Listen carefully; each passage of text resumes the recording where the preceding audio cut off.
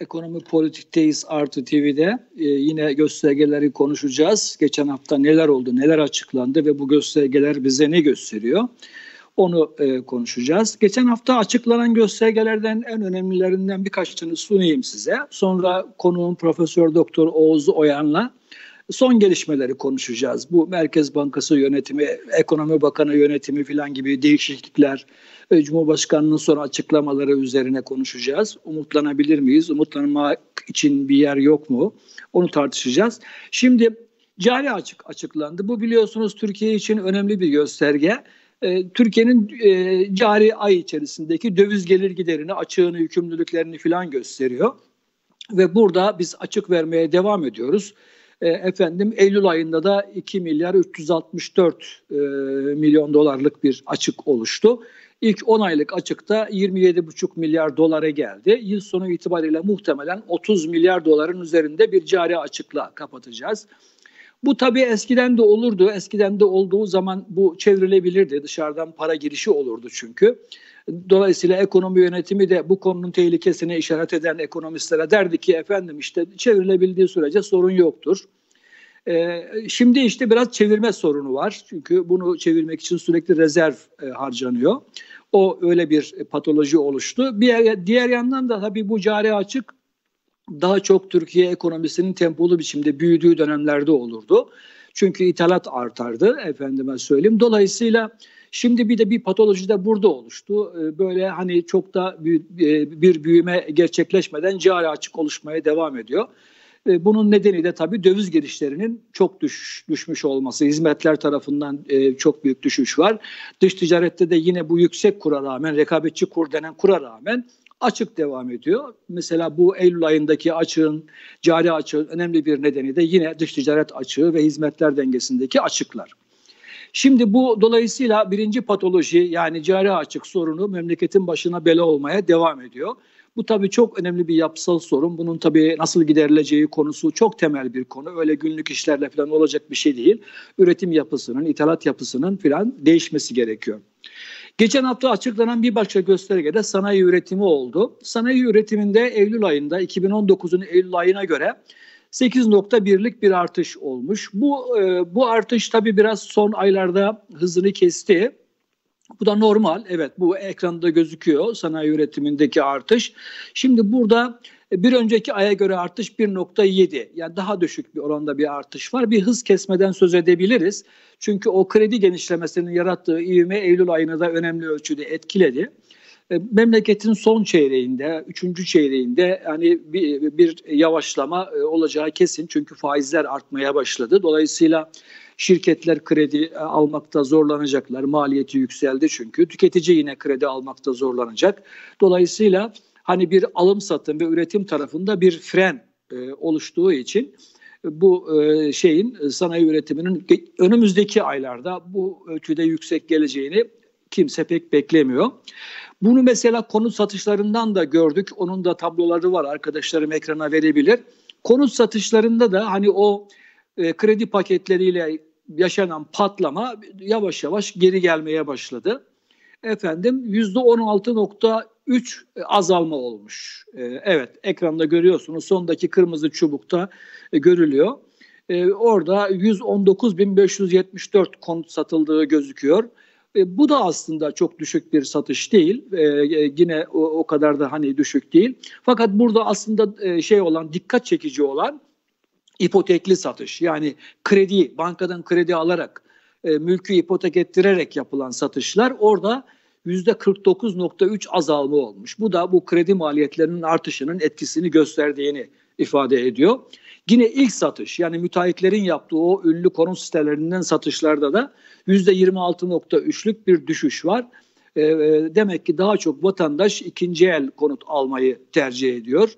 Ama genel olarak konut satışlarında bir ivme kaybı olduğunu söyleyebiliriz. Yabancılarda biraz e, alış artışı var. Onun rakamını da şu ekrandan unutmadan size söyleyeyim.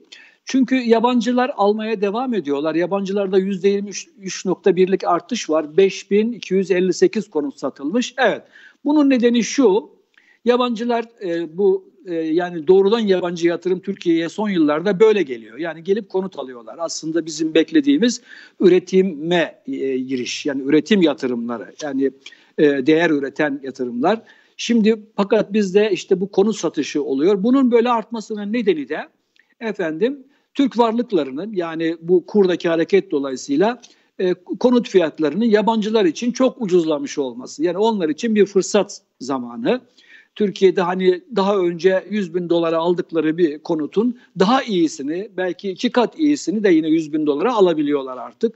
Ya da ne bileyim daha önce 100 bin dolara alınan 200 bin dolara alınan bir konutu şimdi belki yarı fiyatına ya da ne bileyim üçte iki fiyatına alabiliyorlar. Bu yüzden de gelişler var. Ee, Iraklılar, İranlılar çok fazla alıyor. Daha önce Suudi Arabistan'dan çok fazla alım olurdu. Suudi Arabistan'la aramız şeker rengi olduğu için, Suudi Arabistan'da bir boykot uygulaması olduğu için e, şimdi o e, temelden bir alış e, pek yok. Ben Suudi Arabistan e, alışına bu son istatistikte görmedim, rastlamadım. Şimdi kısa vadeli borçlarla ilgili bir e, açıklama oldu. Kısa vadeli borçlarda bir artış gözüküyor. %8.8 artışla 134 e, milyar dolar kısa vadeli borç var. Bu orijinal vadesi bir yıl olan krediler için. Bir de hani eski e, uzun vadeli kredi olup hani e, sonuçta e, bir yıl içerisinde ödenmesi gereken kısımları da kattığımızda e, orada da 182,5 milyar dolara gelmiş. 30 %34.1'i kamunun bu borcun, %65.9'u da özel sektörün. Burada bir artış var. Bu artış muhtemelen hani benim kendi yorumum herhalde son zamanlarda e, Türk şirketleri, bankaları vesaire dışarı gittiğinde muhtemelen e, eskisi gibi daha uzun vadeli krediler alamıyorlar. Bunlar daha çok çevirmeye dönük kısa vadeli krediler dolayısıyla bir artış söz konusu olabilir. Bütçe, bütçemiz açık vermeye devam ediyor e, efendim. Eskiden cari açık vardı, bela derdik. Şimdi bütçe açığımız da e, artıyor. Ocak-Ekim ayı yani ilk e, 10 aylık bütçe açığı 145,5 milyar dolar milyar TL olmuş pardon. Dolayısıyla önümüzde iki ay daha var. Böyle e, dörder, beşer, altışer açık vermeye devam edersek efendim bunu 160 civarında filan bitirebiliriz gibi gözüküyor ama başlangıçtaki tahmin daha yüksekti. Bu e, ertelenen vergi borçlarının e, bu hani yeni dönemde o işte 6 aylık süre destekleme süresi bittikten sonra yeni vergiler, çifte vergiler hani hem ertelenen hem vadesi gelenleri ödemelerden kaynaklanan bir gelirlerde bir artış var. Onun etkisi e, olabilir burada. E, evet şimdi bu göstergeler memleketin ekonomisinde herhangi bir iyileşmeye işaret etmiyor. Devam eden sorunların devam etmekte olduğunu gösteriyor. Dolayısıyla herkes de memlekette krizden çıkış için bir yapısal tedbirlere ihtiyaç olduğunu söylüyor. Ama hükümetin aldığı tedbir ne oldu? Merkez Bankası Başkanı'nı değiştirdi. Ekonomi yönetimi, Ekonomi Bakanı, e, Hazine ve Maliye Bakanı değişti. Ve bir de Cumhurbaşkanı e, efendim kürsülere çıktı. E, işte acı reçete e, olacak dedi. E, efendim faiz artışı konusunda bir yeşil ışık yaktı. Merkez Bankası artırırsa arkasında duracağım dedi.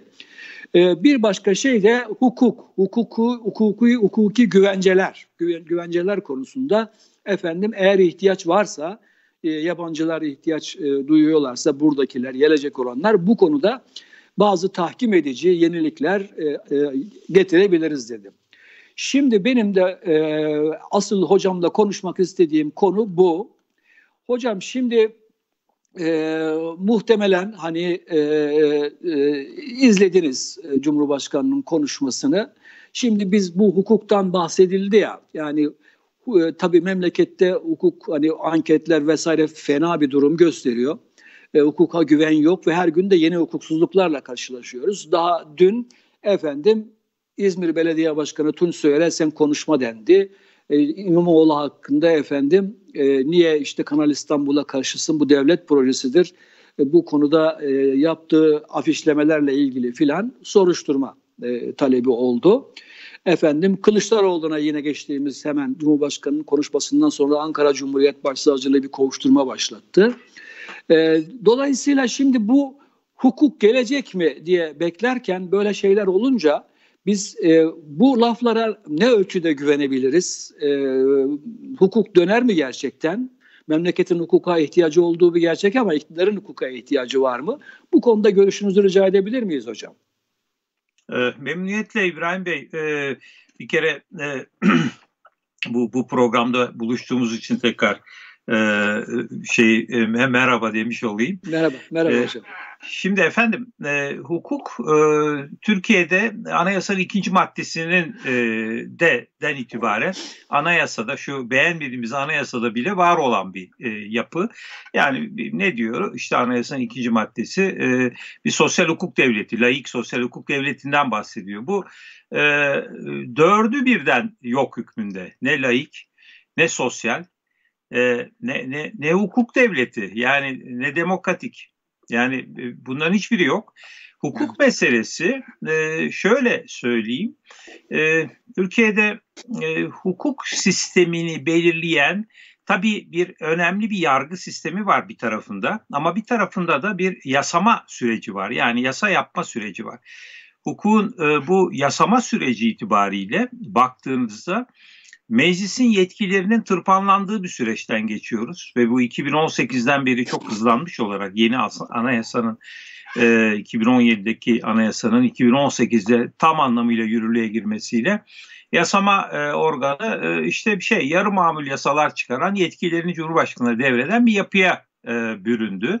E, zaten e, belirli alanlarda Cumhurbaşkanı kararnameleriyle yol alıyoruz. Dolayısıyla orada da geniş bir alan açıldı e, meclisin yetkilerini aşındırarak.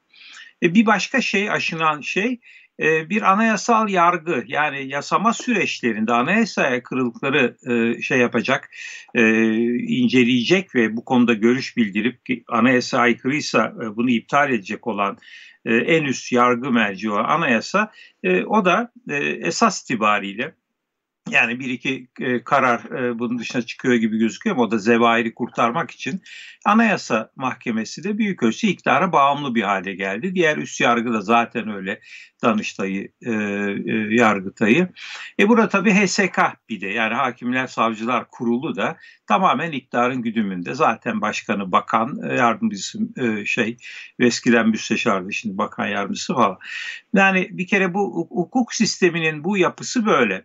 Onun dışında aslında bir başka şey daha var. Bütün bu anayasaları, yasaları da içe sayarak Cumhurbaşkanı'nın ağzından çıkan her şey e, bir emir telakki ediliyor. E, sadece e, şey tarafından değil, idare tarafından değil. Yani sadece İçişleri Bakanı ya da Adalet Bakanı tarafından değil. Doğrudan doğruya onlardan da bağımsız olması gereken yargı tarafından da bir e, emir telakki ediliyor ve e, bu şeyler, bu hukuksuz emirler yerine getirilmeye çalışılıyor. Dolayısıyla e, ortaya kocaman bir hukuksuzluk devleti çıkıyor. Yani insanlar sorgusuz, sualsiz, iddianamesiz e, yıllarca hapishanelerde çürütülebiliyorlar e, ya da yani her an e, böyle bir tehdit altında kendini e, sansür eden, otosansür dediğimiz mekanizmayla söyleyeceğini söyleyemeyen, yazacağını yazamayan bir suskunlar toplumu oluşmaya başlıyor. Hukuksuzluk bu derece Türkiye'de şey yapısallaşmış durumda. Şimdi böyle bir durumda iktidar hukuktan bahsediyorsa gerçekten bunu çok dikkatli izlemek gerekiyor ama bunu çok da ciddiye almamak gerekiyor. Yani o kadar çok atılacak adım var ki yani bu yapılanları tersine çevirmek gerekiyor öncelikle. Yani 2018'den itibaren yani bir kere anayasayı değiştirmeden Türkiye'de e, bugün hukuk e, lafını ağzına almak bir mümkün değil. Yani bu Cumhurbaşkanlığı yönetim sistemini e, değiştirmeden, bu tek adam rejimin değiştirmeden bir hukuk sisteminin düzeltilebileceğine inanmak mümkün değil. Yani eskiden şu mümkündü mesela 1982 Anayasası 61 Anayasası'na göre önemli bir geriye gidişti. Tamam zaten e, 12 Eylülcülerin getirdiği bir anayasaydı. Ama o anayasa e, sonuçta düzeltilebilir bir anayasaydı. Yani tamamen düzelip de 61 Anayasa dönmedi ama bir kere kuvvetler ayrılığı meselesi hala içinde vardı. E, ve çok sayıda değişiklikle e, belirli ölçülerde e, düzeltilebildi. Fakat şimdi bu anayasayı yasala yani böyle küçük anayasal rötuşlarla düzeltme imkanı yok. Burada çok ciddi bir anayasa e, e, ana, yeni bir anayasa ihtiyacı ortaya çıkıyor. E, çünkü e, bütün bu sistem bu 2017 anayasası üzerine oturuyor. Bu 2017 anayasası kuvvetler ayrılığını yok etmiştir. E, ve, ve gerçekten bir monolitik iktidar yapısı, tek adam rejimi yaratmıştır. Böyle bir yapıyı e, yani küçük öyle işte şurasını düzelsek, burasını düzelsek, işte adalet e, çok bağımsız desek mesela orada eskiden bağımsız ve e, şeyin yanına tarafsız da kondu. E, peki onun yanında bir de çok bağımsız, çok tarafsız desek ne olacak? Bir şey değişmez. Yani evet. burada e, önemli olan bir kere tabii e, yapıyı hem değiştirmek hem de zihniyetleri değiştirmek. Bunun için de bir taban talebinin de ortaya çıkması gerekiyor. Yani Türkiye'de e, toplumun bu talebi daha yüksek sesle e, dile getirmesi e, ve bunu siyasi partiler aracılığıyla da e, yansıyabilmesi. Şu an mesela bu tür talepler baskılanıyor. Siyasi partilerin talepleri asla dikkate alınmıyor. Yani e, öyle bir iktidar ki e, toplumsal ve siyasal taleplere duyarsız. E, bazen çok sıkışınca duyarlılık gösteriyor. Mesela son torba yasada iki maddeyi çıkarmak zorunda kaldılar. Bunlar tam kölelik düzenlemesi getiriyordu. 33 ve 37. Evet. maddeler. Bunlar için ama burada şey sendikalar baskı kurdu. E, gerek direnç gösterdiler, gerekse e, müzakere sürdürdüler ve dediler ki bu bizim için genel grev e, konusudur. Yani bu adımı atarsanız bize bu adımı atarız diye. Dolayısıyla orada bir resleşme oldu ve geri çekildi. Ama bu dediğim gibi hala şeyden korkuyorlar tabii. Yani işçi tabanından bir böyle gezi türü ya ya da 15-16 Haziran türü bir tepki gelir miden korkuyorlar. Ee, onun bir evet. düzeltmesi oldu. Ama e, yani inanın şey e, genellikle e, dikkate almıyorlar toplumsal ve siyasal talepleri hatta sendikal taleplerin genelini çok fazla dikkat, dikkate aldıkları yok. Çok sıkıştıkları anda biraz da test ediyorlar. Atalım bakalım ne kadar tepki gelecek ölçüyorlar. Evet. O ölçüye evet. göre de işte e, küçük e, şeyler, e, esnemeler yapabiliyorlar ama ana hattı değiştirmiyorlar. Ana hat devam ediyor. Evet. Yani buyurun evet. hocam. Buyurun buyurun. Ha, şimdi hocam e, kafamı karıştıran bir şey daha var. Şimdi bu konuşmada böyle hukuki güvencelerden bahsedilince bir de işe kavaladan başlayınca dış dünyanın çok izlediği bir davadır filan. E, acaba dedim hani içeride her şey devam eder ama yabancıya hukuk sadece yani biz yanlış mı anlıyoruz yoksa yani yabancı sermayeye biz hukuk vereceğiz siz biraz daha bekleyin mi demek istiyorlar. Yani bu e, mümkün de olabilir mi böyle bir şey yani e, içeride böyle gırla hukuksuzluklar devam ederken diyelim e, yabancı o zaman buna böyle bakabilir mi? Yani tamam bunlar bize güven, bunlar hukuka dönmüş oldular, bize güvence verdiler. Biz şimdi gidelim yatırım yapalım, çekinmeyelim, korkmayalım, malımıza, mülkümüze bir şey olmaz derler mi? Ya da böyle bir hukuk olur mu? İçeriye başka, dışarıya hukuk yani güvenceler filan eksik ne diyorsanız meclisten geçirelim dedi. Yani Cumhurbaşkanı'nın konuşmasında bunlar vardı. İçeriye başka, evet. dışarıya başka bir şey, bir, bir tutarlılık bir şey olur mu hocam? Bundan bir şey çıkar mı? Ee, onun bir zaten e, uygulaması AKP'nin hemen öncesinde başlamış bir uygulama var. 2001 Anayasa değişikliğinden de gelen. E, yani biliyorsunuz Türkiye'deki e, yabancı şirketlerle hatta yerli şirketler ama Türkiye'de e, devletle şirketler arasında ihtilaf olduğunda bunun e, şey, uluslararası ticaret mahkemelerine götürülebilmesi e, bir anayasa hükmü olarak e, yani bizim yargı sisteminin üstüne geçen bir yargılama yabancı tahkim evet. e, getirilmesi bu e, tahkim meselesi e, zaten e, içe ve dışa farklı hukuk sistemlerini Türkiye'de getirdi. Bu var. E, bu Türkiye'yi aslında bu neoliberal düzen içinde tutmak, dış yükümlülüklerini, e, iç yükümlülüklerin önüne koymak e, gibi bir e, şeye getirdi. Gerçi bunun başka örnekleri de var. Ben size şeyi e, örneğini vereyim. 99 e, şeyde e, 2001 krizinden önce 2000 yılında biliyorsunuz Demirbank battı Kasım evet. e, ayında.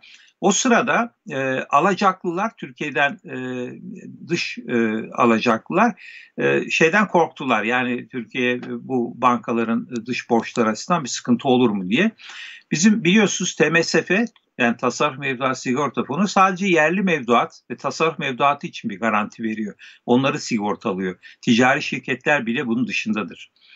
E, ama o sırada başbakanın e, eline bir kağıt tutuşturuldu Aralık 2000'de ve e, şeyin Demirbank üzerinden Türkiye'de bankaların dış yükümlülüklerinin de TMSF garantisi altında olduğu söylendi. İşte buyurun size bir e, dış dışa karşı farklı, içe karşı farklı bir mesele. İçeride siz kendi ticari e, şeylerinize, e, mevduat sahiplerine bile tanımadığınız bir e, hukuku, bir e, imkanı, bir garantiyi dış alacaklılara, dış ticari şirketlere tanımış oldu. Üstelik bunun yasası bile çıkmamıştı. Yasası Mayıs 2001'de çıkacaktır. Yani önce eylem sonra hukuk e, evet. gibi hukuka dayalı olmadan gelebilmişti. Yani bu var. Şimdi burada da iktidarın yapmak istediği sizin e, isabetle buyurduğunuz gibi e, şudur.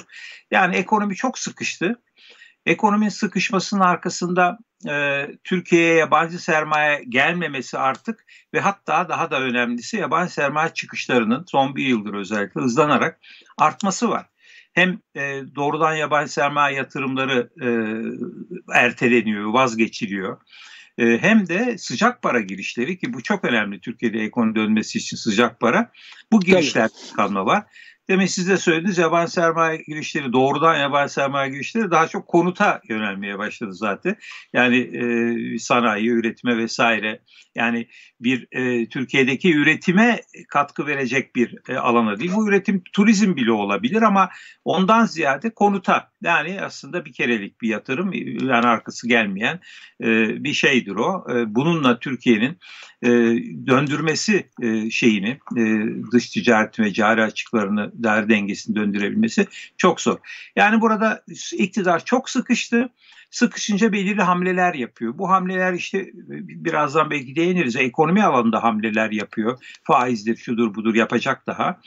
Ee, öbür taraftan da şey bakımından yapıyor. Yani ben size hukuki güvence veriyorum. Girişim özgürlüğü Türkiye'de vardır. Mülkiyet e, e, güvencesi vardır. E, bunların garantisini veriyorum.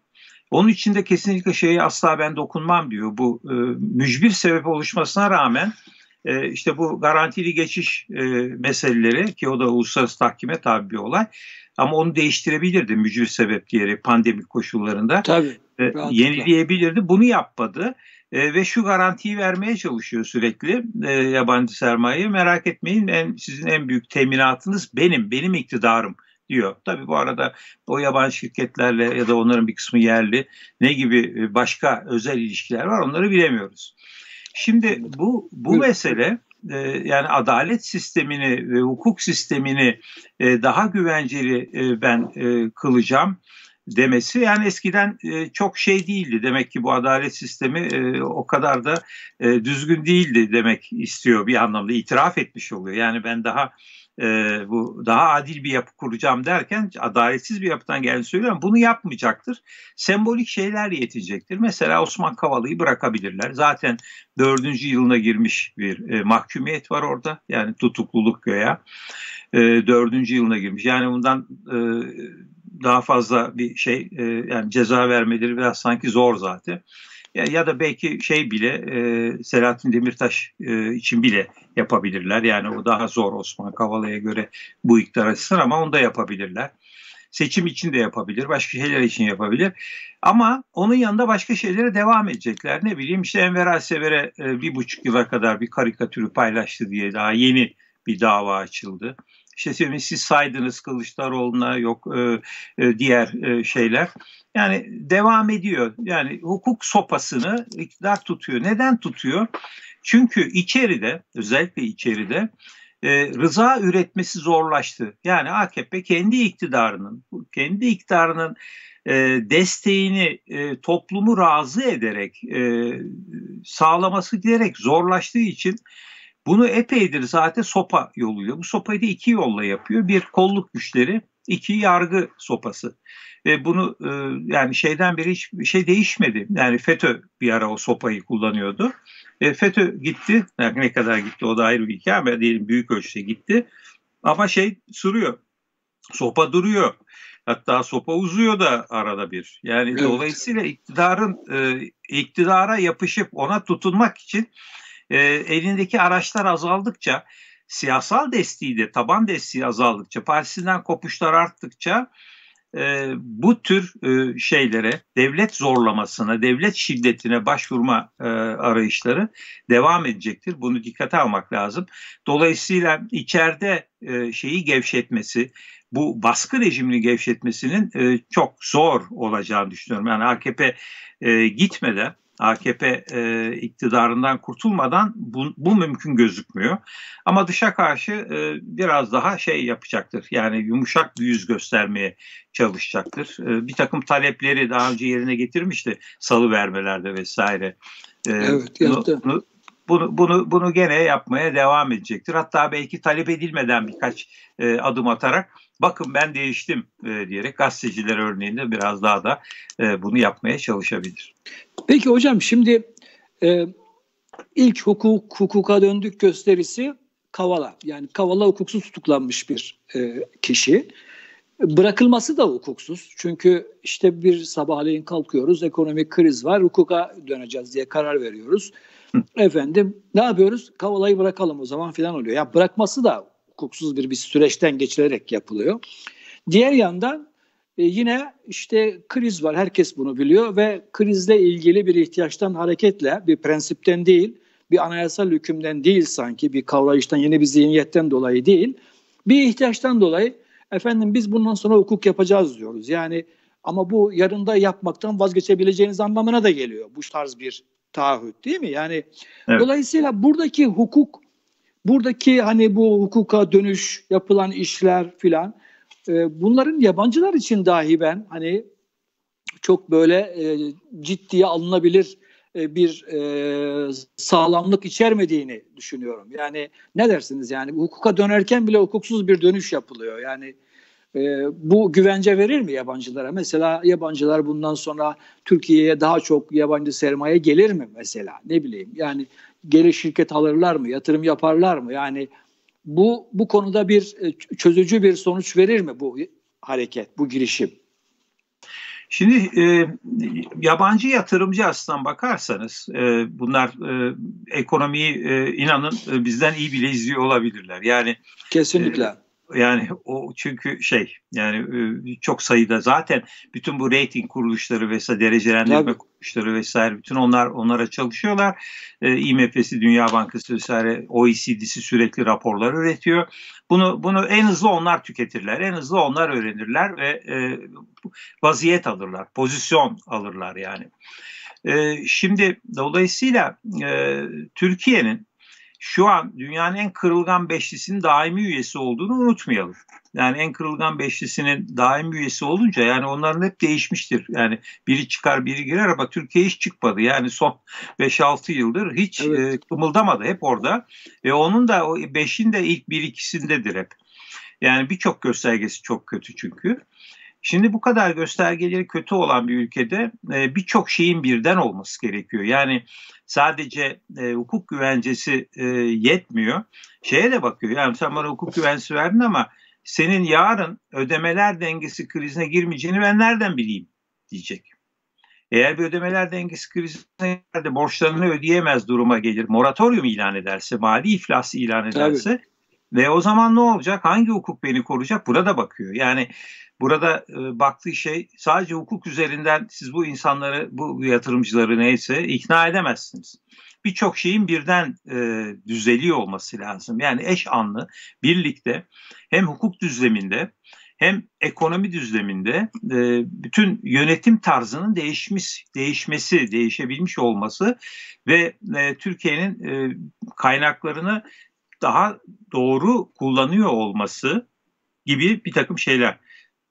Yani o kadar çok şey var ki bakın Türkiye dış açıkları zaten çok önemli bir ülke. Sisteminde program başında söylediniz.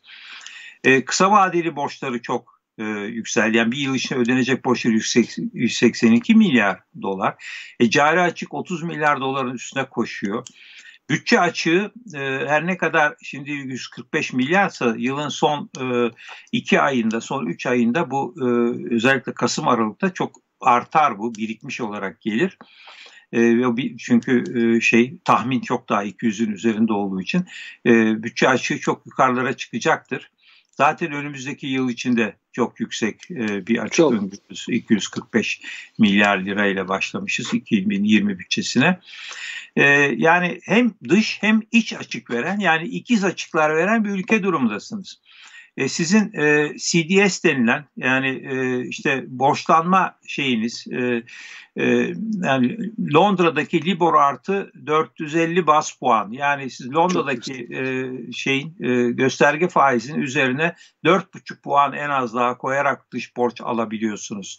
Bu kadar şey bir ekonomi e, yani e, hem dışa bağımlı hem dışarıdan borçlanma koşulları giderek ağırlaşan bir ekonomi hem e, şeyi azalan e, yani brüt rezervleri azaldığı gibi net rezervleri negatif 40 milyar dolarlara gelen bir ekonomi güven vermiyor. Yani bu bu ekonomide e, hukuk düzleminde yapacağınız şey makyajdan öte bir şeyse belki biraz daha yani bu, dediğim gibi anayasayı değiştirip bu ucube rejimden kurtulacaksınız Cumhurbaşkanı yönetim sisteminden. Mesela o biraz daha etkili olur ama yetmez.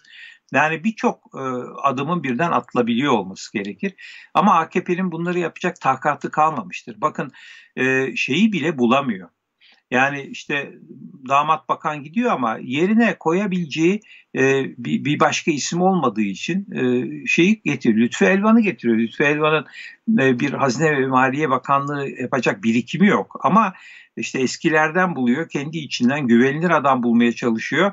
İşte FETÖ'den ayrıldıktan sonra falan kadro sıkıntıları da başladı ve yeni eleman bulamıyorlar. Yeni yetişmiş üst düzey e, şey e, e, teknokrat, bürokrat e, sıkıntıları var. Bunu aşamıyorlar. İşte Merkez Bankası Başkanı'na şey strateji e, bütçe, bütçe başkanı e, Naci Ağbal eski Maliye Bakanı Merkez Bankacılıktan anlamaz. Belki Naci Ağbal şeye daha iyi giderdi. Hazine Maliye Bakanı'nda her neyse ama yani bu e, şey bu yapıda çok fazla taş oynatamaz duruma geldiler. E, yani ellerinde dış dünyaya çok güven verecek bir Mehmet Şimşek'i de mesela şimdi artık getiremiyorlar. Buna benzer şey yok. E, ne yapıyor aslında e, rejim? Şunu yapmaya çalışıyor. Ey e, dünya ve Türkiye'deki yerli sermaye ben e, aslında bu neoliberal düzeni en iyi ben yönetirim. Hukuk ve adalet diyorsanız ben tekrar işte eski şeylerime dönerim. Eski fabrika ayarlarım ve ben bunda daha demokratik yapıları kurarım. Bana güvenin. E, ve ben sermaye yönlü, iç ve dış sermaye yönlü e, şeyler bakımından, e, teşvikler, destekler bakımından benden daha iyisini bulamazsınız. Yani ben vazgeçilmezim sizin için mesajlarını vermeye çalışıyor.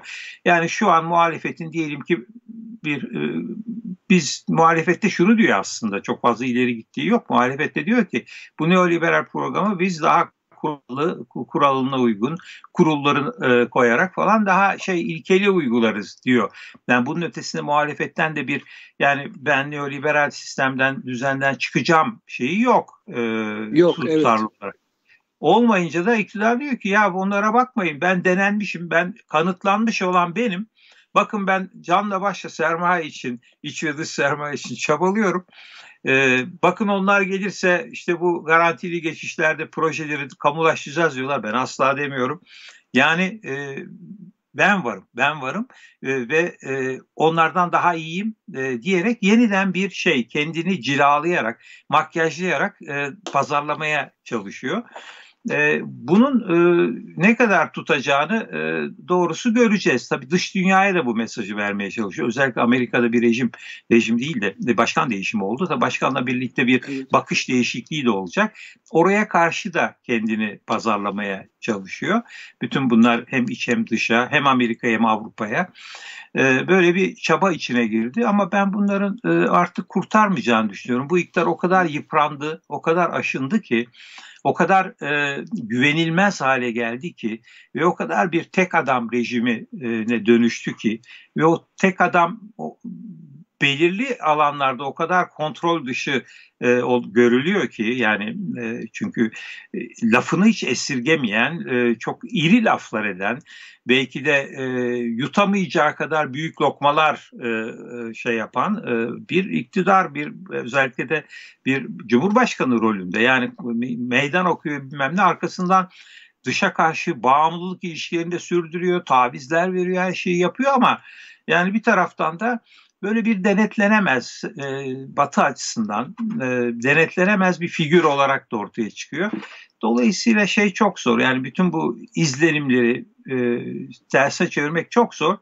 Bakın bunun tam tersi vardı. Ben milletvekili e, olduğum dönemde yani 2013'e kadar yani bu gezi olaylarına kadar yani biz eleştirdiğimizde iktidarı bunlar asıl demokrat falan diye bilmem ne dışarıda bizi dinlemezlerdi. Ya bırakın siz e, ben o sırada CHP milletvekiliydim. Yani yani siz o daha demokratik sizden falan gibi bir izlenim yaratmıştı. Düşünün nereden nereye 180 derece şimdi döndü Batı e, tam anlamıyla bir olumsuz yargıya sahip. E, bu gezi sonrasındaki bütün olaylar e, tabii bunu çok etkiledi. Bu iktidarın kendisi de daha e, şey sert bir rejim oluşturdukça e, şey e, izlenimler, intibalar tamamen tersine dönüş vaziyette. Yani hiç kimsenin artık bir Tayyip Erdoğan'la bu Türkiye devam etsin diye bir e, derdi yok. Ama evet. tabii e, şey yani bu, bu bu rejim bir şekilde hala bir şeye sahip olduğu için yani anketlerde düşse de hala birinci parti gözüktüğü için e, varlığını koruyabiliyor ama bu varlığını korumak şeye yetmeyebilir. Bundan sonraki seçimlerde evet. e, yani Cumhurbaşkanlığı almaya, mecliste çoğunluğu sağlamaya yetmeyecek gözüküyor. İşte sıkıntı da orada yani şu an iktidarın sıkıntısı bu e, çoğunluğu kaybetme sıkıntısı. Anladım. Hocam şimdi tabii bir de e, bu son açıklamalarda e, bizim e, bizi e, hepimizi çok ilgilendiren laflar da var. Acı reçete. Efendim acı reçete e, ne olabilir? Yani bu e, ilk akla gelen vergi artışları, işte zamlar filan. E, burada ne beklenebilir? Çünkü kasa da tam takır bir yandan. Hani e, salgın bu pandemiyle ilgili de sıkıntılar var. E, efendim burada e, böyle bir furya halinde zamlar görebilir miyiz? Yani böyle bir ihtimal var mı? Vergi artışları ihtimali var mı? Ne dersiniz hocam?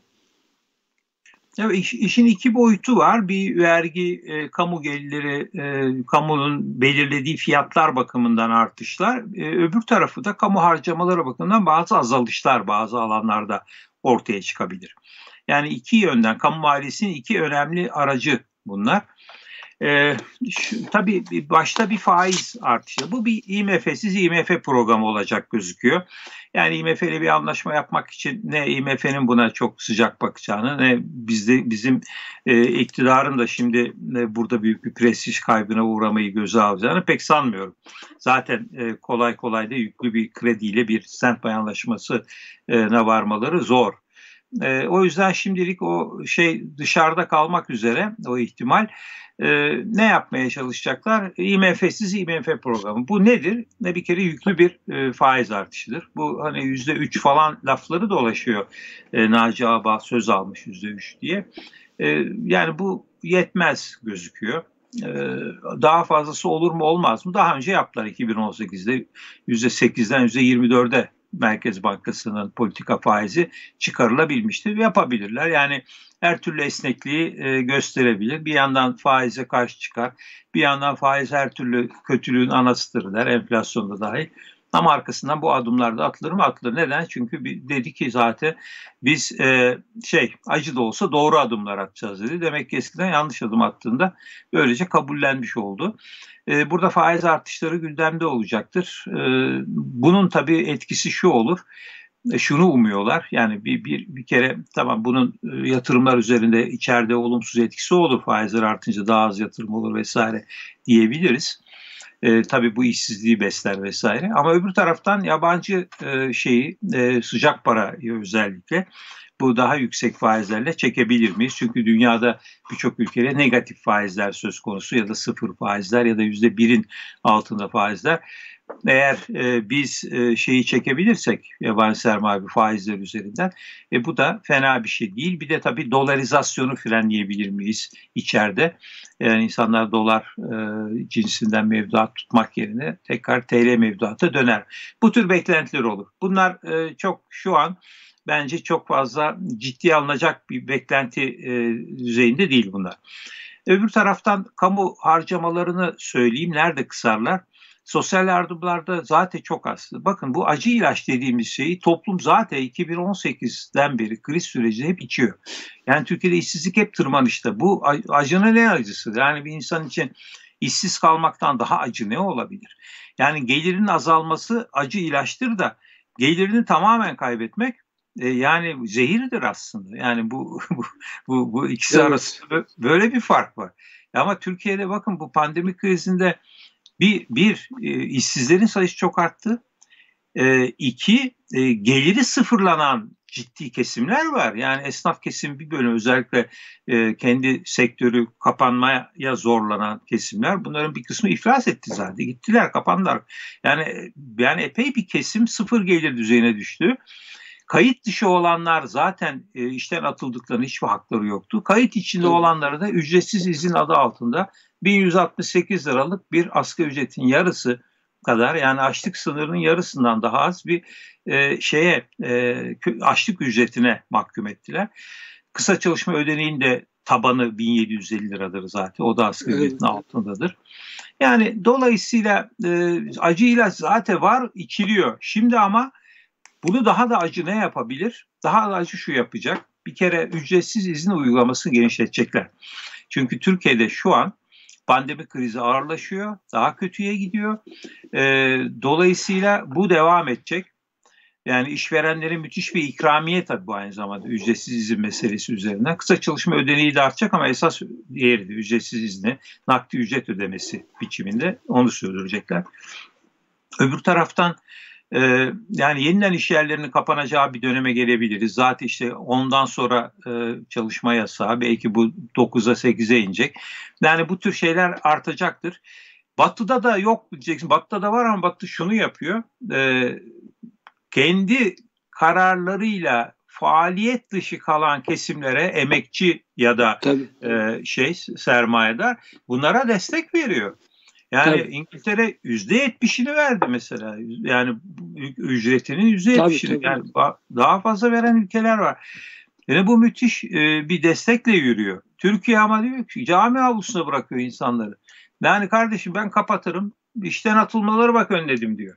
İşten atılmaları ücretsiz izinle ya ücretsiz izinle sen insanları şeye köleliğe mahkum ediyorsun. Üstelik ücretsiz izinle onları gizli çalıştırıyor işveren zaten. Bir de öyle bir şey tabii, var. Yani bir de o tarafı var tabii. Bir de o tarafı var yani.